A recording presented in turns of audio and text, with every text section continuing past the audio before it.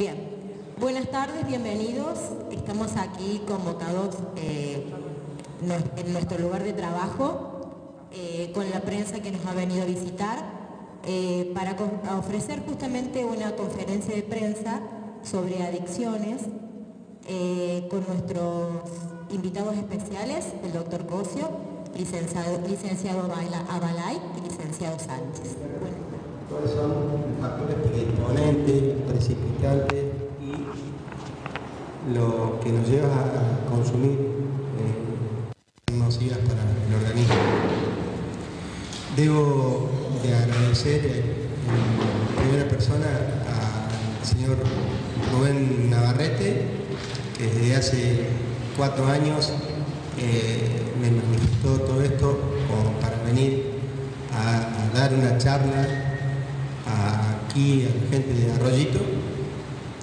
Eh, a quien está a mi derecha, el señor Gustavo Benedetti, que se acercó hasta el consultorio en algún momento en Córdoba, no sé precisar la fecha, entre marzo y abril más o menos fueron con Rubén, y el interés de generar salud mental y generar más que todo prevenciones, que son eh, este tipo de patologías las que azotan más que todo a los adultos, sin ver los factores predisponentes que tenemos desde la infancia, porque desde una infancia mala es donde se gestan todos los problemas como los que vamos a exponer en la charla.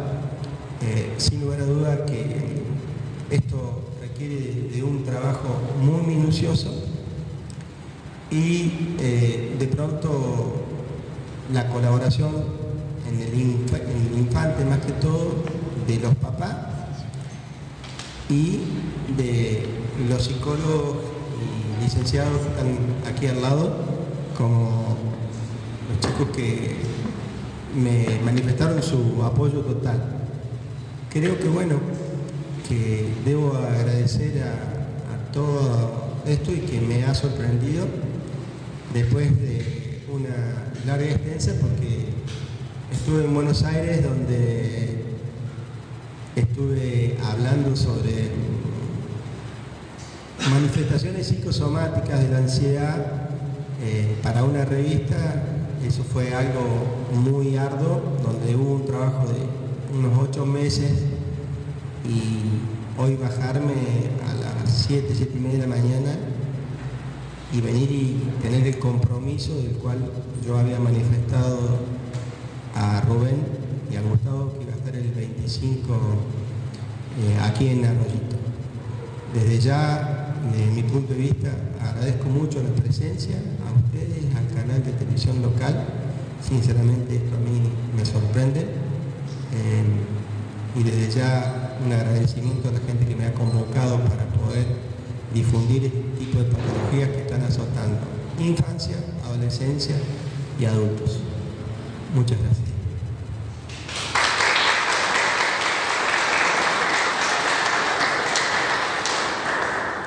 Eh, voy a pasar a darle la palabra a los licenciados que eh, conjuntamente trabajaremos en equipo y ellos van a manifestar posteriormente cuál es el trabajo que están haciendo, más que todo creo que lo van a hacer en la chava, así que te dejo la palabra.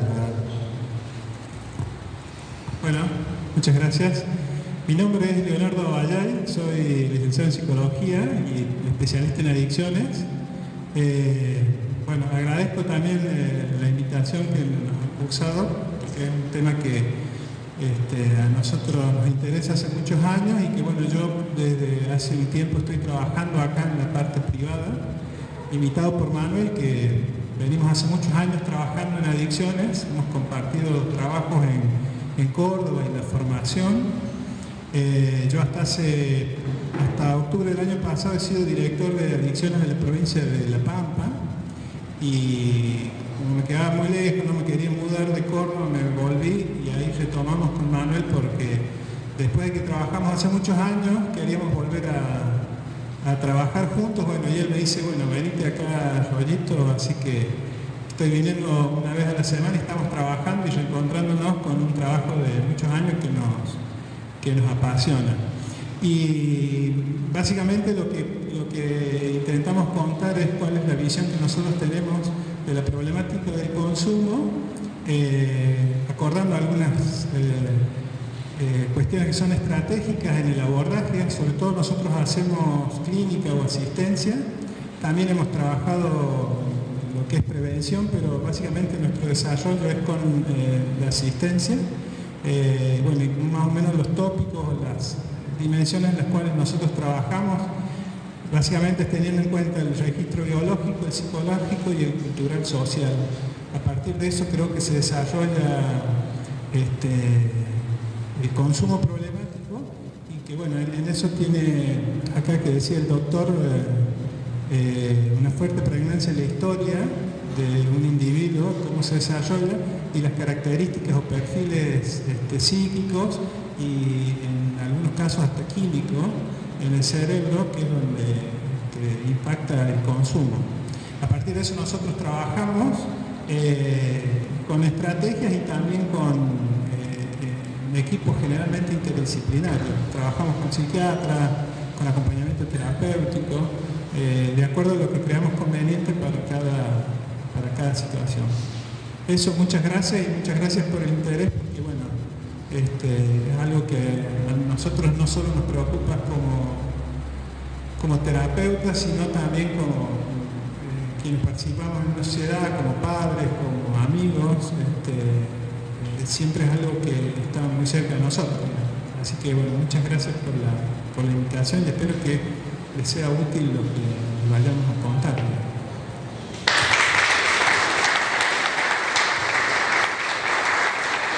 Bueno, eh, no me desplazo mucho sobre lo que ha dicho Leonardo, que es bastante extenso. Lo único que eh, nuestro interés surge a partir de un poco la problemática que, al menos individualmente yo he podido detectar desde hace cinco años que he vuelto a vivir a Rollito y a trabajar. Eh, me ha sorprendido mucho el nivel de consumo de sustancias que hay en la ciudad. desde ahí que constantemente estamos pensando desde lo individual y privado en algunas estrategias, pero bueno, obviamente que el Estado necesita presencia en este tema eh, y bueno, la idea era aportar ideas para que justamente desde un lugar de mayor eh, acción y de mayor repercusión eh, se puedan realizar estrategias para la prevención y la asistencia. ¿sí? Creo que Arroyito, bueno, está un poco dejado en ese sentido. Eh, de todos modos, la problemática del consumo es, una problemática que, avanza eh, eh, peor ni mejor que, cualquier otro lugar, pero me parece que en cuestiones estratégicas hace falta. Bueno, un poco la idea de, recibir la invitación y acceder a la invitación era un poco contar lo que estamos trabajando, lo que hemos trabajado durante mucho tiempo. A lo conozco desde hace 20 años, nos formamos juntos en adicciones, hemos estado en, muchos lugares trabajando. Eh, y bueno, con esa experiencia la idea era, eh, bueno, aportar para que bueno, la gente conozca de lo que se trata y, un poco trabajar algunos, algunos conceptos para que la, la familia sobre todo y los individuos tengan para prevenir este, esta cuestión. ¿sí? Así que bueno, eh, también contento de estar acá, gracias por la invitación. Eh, Pamela ha sido en contacto eh, conmigo, yo no la conocía, la verdad que me invitó y accedí por este interés que tengo en trabajar sobre las adicciones. Así que bueno, gracias entonces por la invitación. después en la charla hablaremos un poco más específico.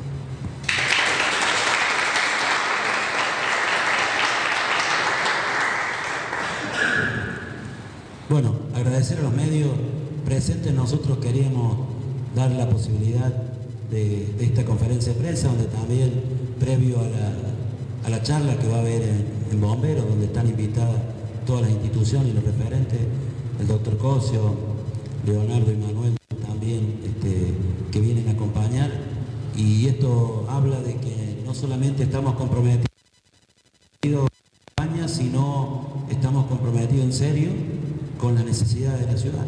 Dentro de toda la propuesta de gobierno sabemos que todas son importantes, pero este es un tema muy complicado, muy difícil para la familia, para las situaciones que se viven. Nuestra ciudad este, nos brinda, así como tenemos la problemática, nos brinda la posibilidad de, de poder ayudar a resolverlo, ayudar a la gente y lo que queremos trabajar es cerca de la gente, no solamente es un lema, sino es algo que, como dijo recién Manuel, Pamela conduce un grupo espectacular, que es el grupo de la adicción, el grupo de apoyo, el grupo de escucha, y bueno, ojalá lo podamos llevar adelante, este, que junto con el área de salud mental, que es un tema pendiente para la ciudad, ojalá lo podamos llevar adelante eh, después del 10 de noviembre o a partir del 12 de diciembre, porque no solo que lo necesita la ciudad, sino que hay un grupo de personas que está comprometida y que seguramente lo van a hacer bien. Este, trabajar en conjunto, todos juntos, ese es el desafío. Por eso los medios sabemos el papel, la importancia que juegan de comunicar y, bueno, los invitamos a todos a participar de la charla. Si alguno quiere hacer una pregunta ahora o después harán una nota, este, tienen la posibilidad, tenemos un rato hasta las 8 y media, 20 y 30, 21 que empiece la conferencia. Este, si quieren compartir una entrevista para puntualizar algún tema, están los doctores a disposición. Muchas gracias.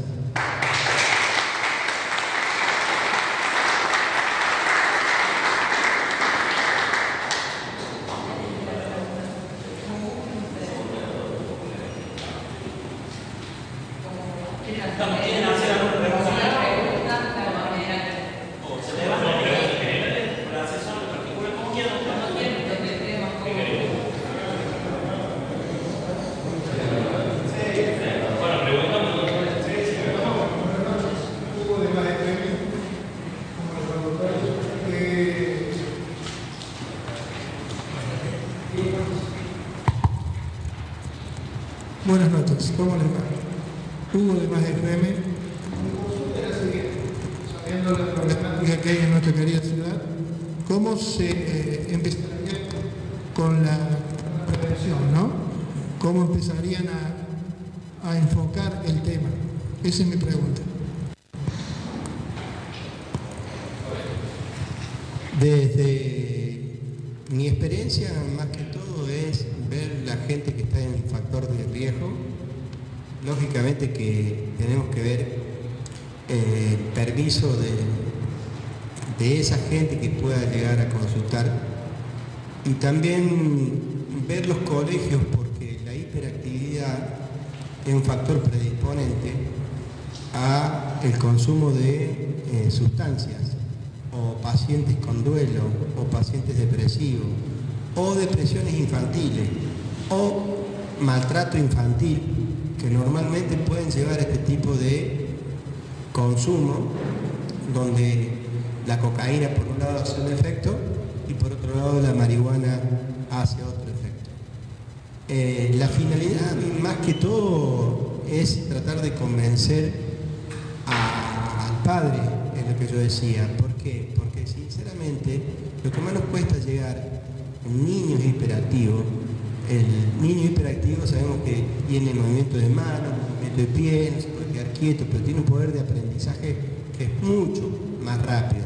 Lo que no sabemos, o que sí sabemos y no podemos darnos cuenta, es que es un niño que está mucho más predispuesto a hacer este tipo de patologías, como también hacer enfermedad bipolar, como también hacer enfermedades como trastorno de ansiedad, que es lo más barato que podemos sacar, o una hiperactividad y déficit de atención del adulto, que normalmente también hace algún tipo de consumo. Y después ver ese tipo de patologías donde, sinceramente, muchas veces eh, lo más difícil es en todo esto llegar a, los papás y hacerle entender que su niño necesita un tratamiento.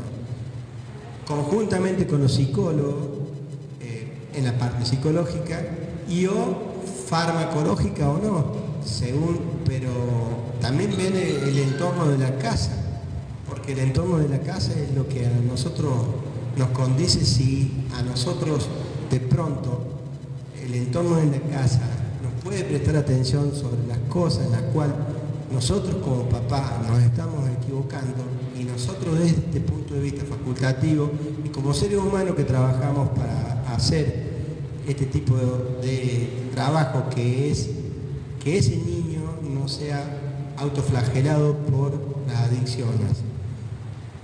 Vuelvo a repetir, lo más difícil, más que todo, es empezar con un niño, porque si vos me decís, ¿por qué la psiquiatría eh, se enfoca tanto en el adulto y por qué no tanto en el niño? Y no se enfoca tanto en el niño porque a la gente, o sea, a, a los comercios, más que todo, te estoy hablando a nivel laboratorio, le conviene a adultos enfermos, no niños sanos, para que no hagamos adultez enferma. Entonces el hecho de poder prevenir no es curar, pero es aminorar y saber con qué nos podemos enfrentar en un futuro de ese niño. Bueno, eh, ah, Yo, yo quería agregar algo a lo que decía el doctor, que en realidad lo que está bueno, que inclusive que está bueno que estén ustedes, es que como pueblo, como ciudad, eh, preguntarse qué es lo que queremos y tener un proyecto a mediano y largo plazo de que cómo queremos prevenir. Es muy importante la articulación con instituciones. Nosotros venimos de una cultura donde la prevención era para decirle no a la droga, digamos, que es más sensibilización y que servía en un determinado momento. Con el conocimiento y cómo está instalado el consumo problemático en la actualidad, se trabaja mucho, como le decía el doctor, que es la promoción de salud y eh, la prevención inespecífica. Es decir,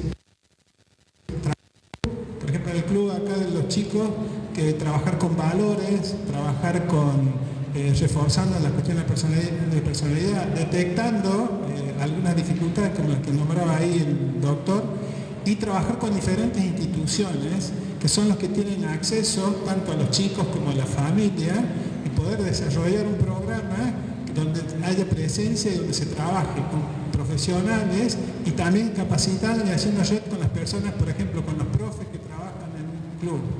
Eso es muy importante porque eso nos permite que se desarrolle en el tiempo y que después no, no dependa tampoco de solamente del Estado. Es decir, si vos capacitas gente en las instituciones que trabajen eso y, por ejemplo, si detectan algo, saber los equipos que trabajan en salud, en, adicciones o, o en otro tipo de dificultades, eh, poder hacer esas articulaciones y trabajar para que sea más efectivo. Si no, siempre corremos el riesgo de hacer eh, intervenciones que son exiguas en el tiempo, digamos, que terminan con solo con una, con una, no sé, con una propaganda. Y para eso está bueno que nos preguntemos como sociedad hacia dónde queremos este, apuntar con la prevención. también. bueno, Hugo Canal 3, bienvenido. Eh, doctor, no solamente se lucha hoy en día, hablando de adicciones, ¿no? con la problemática de la adicción, sino con la problemática de la sociedad que se vuelve indiferente. Digo, el alcohol hoy en día es casi legal. Eh, ¿Cómo se hace para luchar con esas dos cosas? No solamente con la adicción y la familia, sino con la sociedad. Eh, primero hacer concientización de lo que puede llegar a producir todo esto, porque sinceramente yo no sé si la gente puede llegar a tener conocimiento de lo que está consumiendo y de lo que puede llegar a producir en un futuro. De todas maneras, eh, que la gente puede llegar a tener a conciencia, después lógicamente, eh, no solamente tomar conciencia, sino tener que tener un compromiso de ambos, del equipo profesional y del equipo que viene a ser esa persona, esa familia y apartarlo de las juntas de los cuales la mayoría hacen consumo, porque el que inhala, inhala solo, por el que fuma, fuma en grupo. Entonces, desde ese punto de vista, nosotros podemos llegar. Si ustedes se ponen, a ver, en los años 80, 80 y pico, estoy revelando mi edad y no está tan bueno, ¿no? Pero en los años 80, 80 y pico, ¿cuántas propagandas había de VIH? Todas. Les pregunto a ustedes, ¿cuántas propagandas hay hoy de VIH? Ninguna. ¿Saben por qué? Porque la supervivencia del VIH antes tenía de uno a dos años, como mínimo tres años vivía el paciente. Entonces teníamos miedo de morirnos. Ahora, con las cápsulas, que normalmente la industria farmacéutica ingresó, nadie se cuida. ¿Sabes por qué? Porque la supervivencia es de 20 a 30 años. Entonces, yo creo que hay muy muchas cosas que tenemos que apuntar nosotros desde el punto de vista y hacer psicoeducación de la problemática de lo cual le puede acarrear a este paciente. No sé si es lo que vos querías, no o menos. Y desde ya también, eh, no sé, eh, acá los licenciados, cuando uno ve un adulto, ve la infancia que pudo haber tenido. Y cuando uno ve la infancia, manifestar cuál es la adultez que puede tener. Todos nuestros problemas y nuestras historias y nuestros traumas están en la infancia. Están en la infancia, por ausencia, ya la vamos a ver, por ausencia de padre, por la presencia de gritos, por eh, el hecho de no poner límites, por la sobreprotección familiar, por la genética que traemos. O sea, hoy no hay domingos en la mesa, no hay nada. Y hay sponsor para todo esto, ¿no? Porque hay gente que conozco casos donde sinceramente consumen algún tipo de sustancia y la madre ha dicho déjame algo para mí. O sea, que hay un sponsor, pero también hay que saber si esa madre sabe que eso que es el tetrahidrocanabinol, que no es nada más que la marihuana, puede llegar a una psicosis canábica.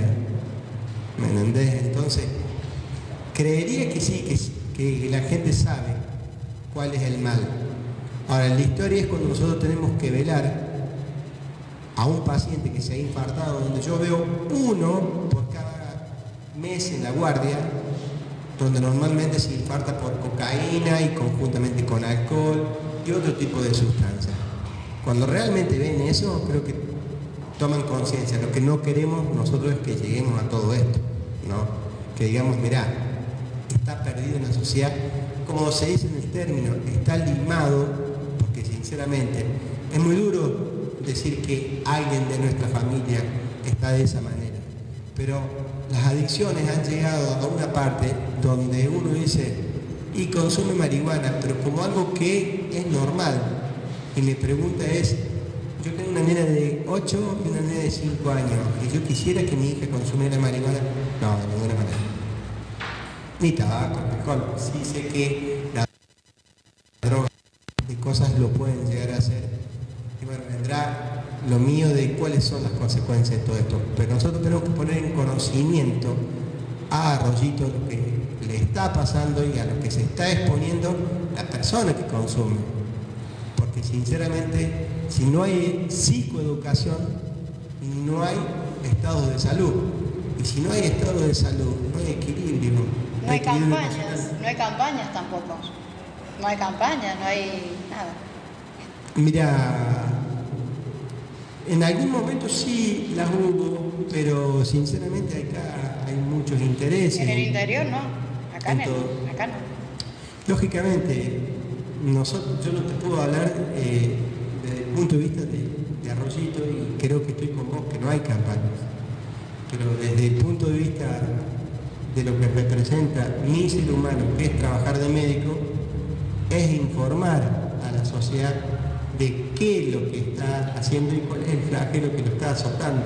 Yo no puedo tampoco impedir que alguien consuma, porque lamentablemente esto le da placer. Ahora, a mí también me da placer tomar una botella de whisky quizá o una cerveza.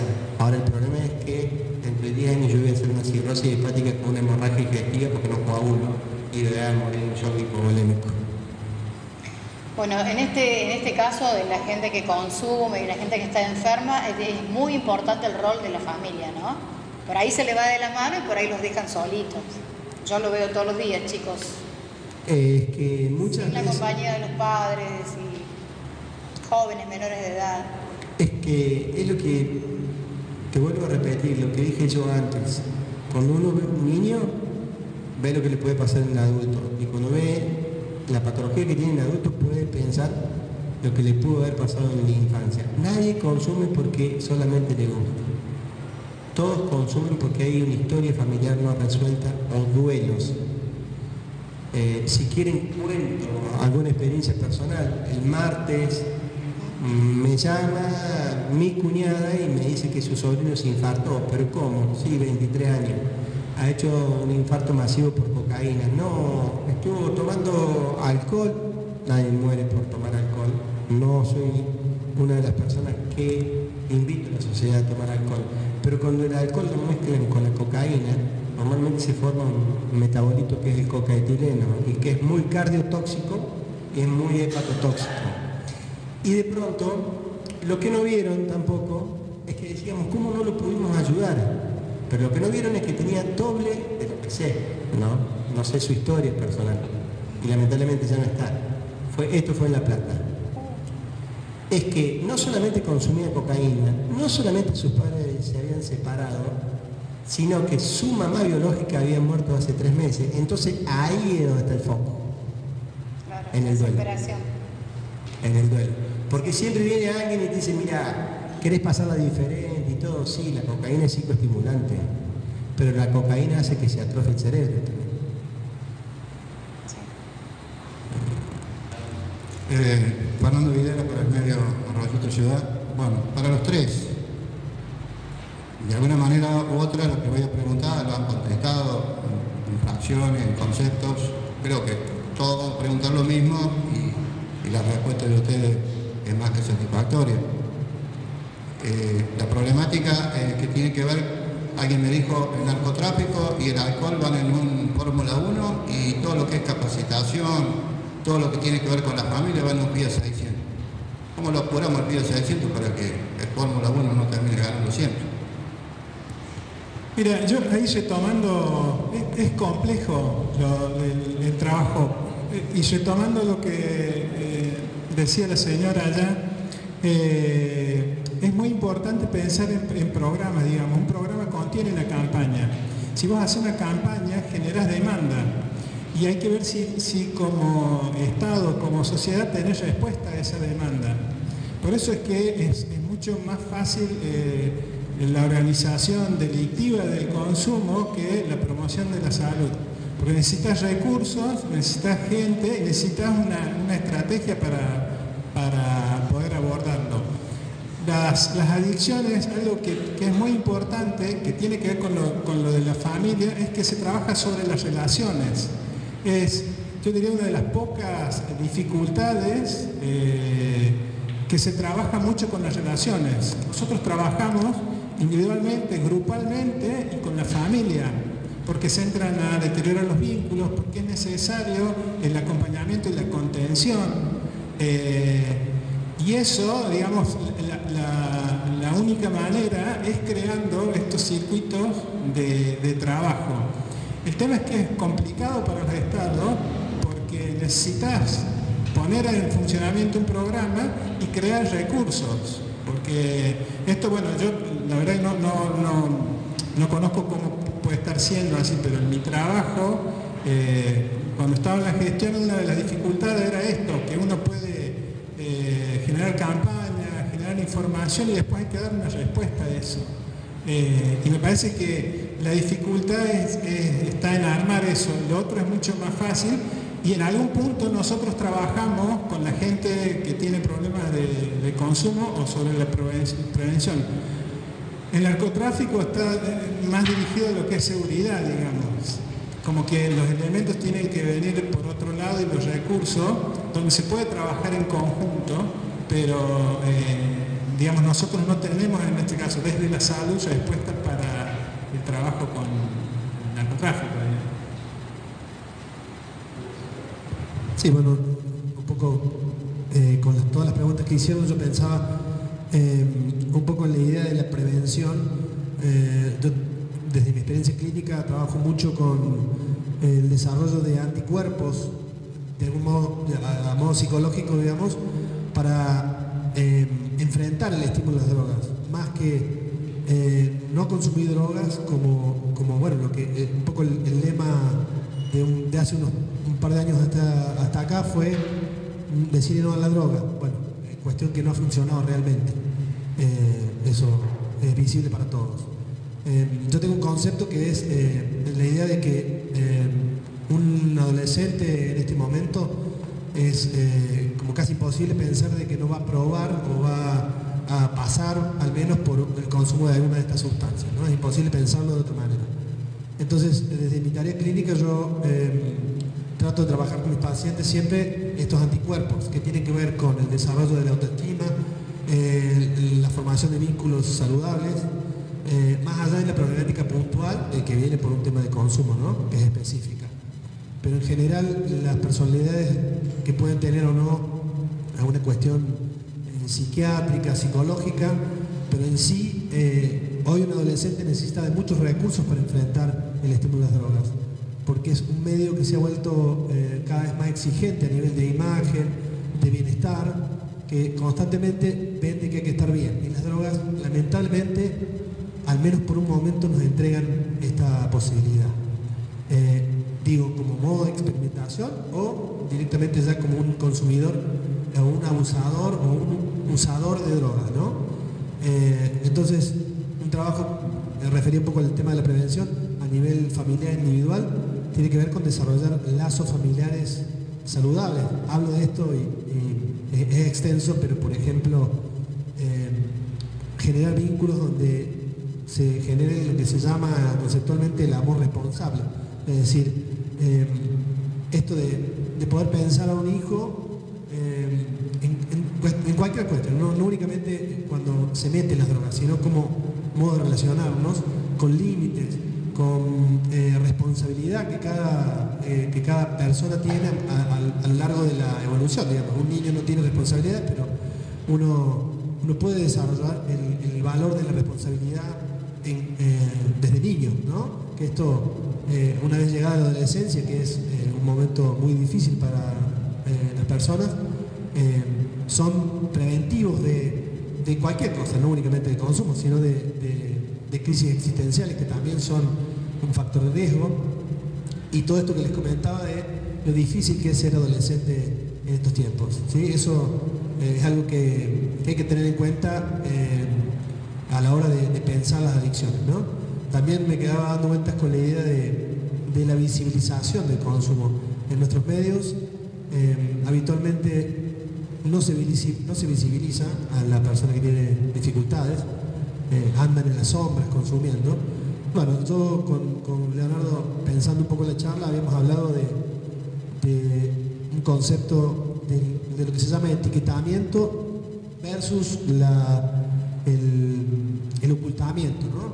Hay, lugares, poblaciones o, comunidades donde la visibilización o etiquetamiento, eh, que tiene un límite, es para pensarlo, favorece que la persona eh, emerja con el problema y pueda, eh, pueda tratarse. En cambio, en las, comunidades donde se entiende el ocultamiento de la problemática, esto sigue proliferando de modo masivo y, muy fuerte. Por eso, eh, bueno, son conceptos que vamos a desarrollar en la charla, pero bueno, para un poco todas las preguntas que me han hecho, me había quedado con, con ganas de responder.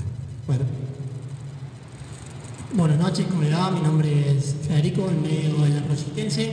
La pregunta más que todo es para el candidato Gustavo Benedetti, como ya han hablado un poco de las adicciones, todo. Ahora yo pregunto, y también voy a ser un poco crítico porque he estado camino, tengo amigos que se han prostituido por la droga, conozco lo que es la droga, la línea blanca, sé todas las cosas que hay en Arroyito y lo que pasa.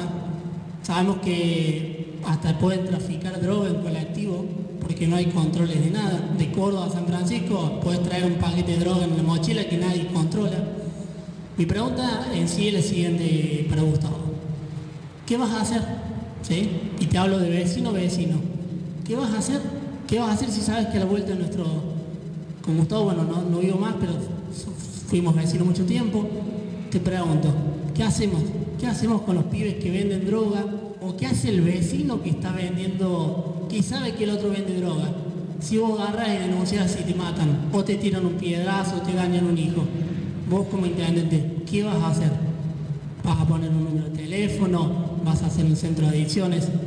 Solamente eso. Hola, Fede. Che, yo creo que en esto hay cuestiones que son responsabilidad del municipio, que es el programa o el proyecto que con María José nos toca conducir, porque en definitiva los equipos están conformados para llevar adelante un plan de gobierno en el cual nosotros vamos a, a tener la decisión política de acompañar, pero fundamentalmente trabajar en conjunto con las instituciones. Y hay dos cuestiones en base a lo que vos decías, el narcotráfico, las cuestiones de venta, que no son del Estado municipal y que tienen que ver con la policía, con el, tema, con el tema tribunales, donde hay números. Nosotros en la oficina de participación hemos traído de las capacitaciones que hemos tenido en Córdoba, nosotros vamos a poner en marcha lo que tiene que ver el RAC para potenciar lo- el trabajo del PRENAR. Va a haber equipos trabajando que va a tener que ver con tratar de ayudar a los chicos que hoy están en la problemática. Pero en lo que tiene que ver con la estrictamente judicial, lo que nosotros vamos a acompañar puntualmente en ese caso a través de la creación de la, de la vuelta, de recuperar la- el servicio de seguridad ciudadana que se ha perdido, que Rodito hoy no podemos ver, se ha dejado de ver, de trabajar con las empresas de seguridad, las empresas de seguridad privada que hacen cuidado de algunos barrios y que trabajan, es decir, nosotros hemos avanzado en eso y ayudar a la policía y colaborar en todo lo que más podamos, incluso presupuestariamente, vamos a tratar de ayudar en lo que tiene que ver con, con cuestiones que son policiales y judiciales. Pero de ahí, en lo que tiene que ver con la recuperación, nosotros el programa de deporte, cada uno de los programas de gobierno tiene la mirada hacia trabajar con la gente. Y en este caso, trabajar con una problemática que es la de ayudar a nuestros niños y a nuestros jóvenes. El deporte y la cultura está direccionado. Nuestro lema de deporte y cultura gratuito tiene que ver también con ayudar a que los jóvenes y los chicos en cada sector de la ciudad, que no solamente sean los clubes y la Casa de la Cultura, este, lo que tengan la posibilidad de ocupar o dar la posibilidad de practicar alguna actividad deportiva y cultural. Está direccionado a ayudar a nuestros jóvenes, a los chicos, también la tercera de todos los que vamos a trabajar. Pero fundamentalmente en lo que tiene que ver con el narcotráfico nosotros vamos a acompañar, como lo hemos acompañado, como seguramente este, los números telefónicos que hoy están han dado resultados, es decir, los pocos, muchos este, operativos que se hicieron en el Roberto han sido a raíz de llamados anónimos de los vecinos. Y bueno, hay que potenciar, yo creo que también hay que inculcar a la gente a que se haga parte teniendo en cuenta que le garantiza de que no van a ser este, perseguidos porque son un llamado anónimo y que ha dado resultados, pero nosotros fundamentalmente nos vamos a abocar a ejecutar el plan de gobierno que tiene que ver con que el tema de adicciones, ayudar a los jóvenes, a los que hoy tenemos